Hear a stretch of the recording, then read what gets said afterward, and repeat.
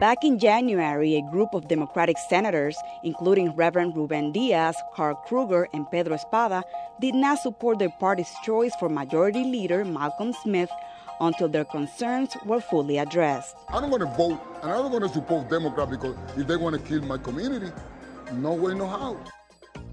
A deal was reached after a successful meeting between Malcolm Smith, Governor David Paterson, and the three senators.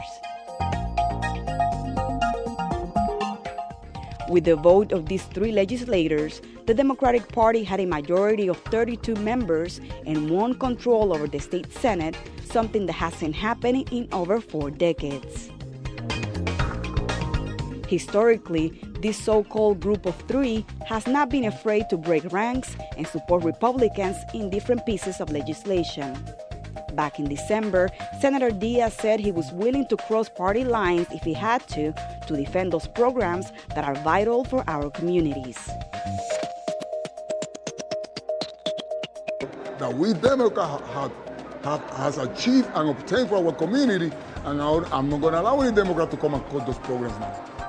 Now, Senators Hiram Monserrate and Pedro Espada Jr. followed this trend and gave their support to the Republicans. And although they said they were forming bipartisan power share, the arrangement successfully re-established Republican control. Senator Espada is now the first Latino state president, and with the position of lieutenant governor vacant, he will become governor in the absence of Governor Paterson.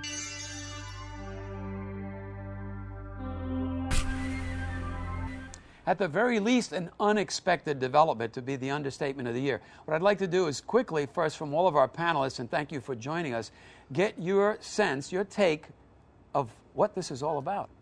I think this is just raw politics. It's come out of the chamber, the, the, closed doors behind the chamber, that they always work out these deals. They have this message, and all of a sudden, there's a big microscope and, I mean, a lens that's looking right into all the shenanigans that have gone on for ages and you have a wise guy like Pedro Espada, very astute, very political savvy, who has you know blown this out of I mean into a into a political bomb, if you will. It's raw politics at its best and worst. It's very entertaining. Wayne, what do you make of it in short? Well, these two guys have put a lot of demands on the table. They put demands on the table for the Democrats.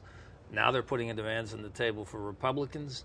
Both parties tried to satisfy these demands it's tough to satisfy these two guys. I mean, Monserrate is under felony indictment for beating up, allegedly beating up his girlfriend. So he's got a big criminal case hanging over that's going to go to trial first. So there's so many odd things out there that can affect how these two guys are appealed to. On the same, in the context of what happens in New York politics, though, Hispanics have been locked out of New York politics. They've never held any position of power in New York City or New York State government or politics. It's the, it's a tragic history.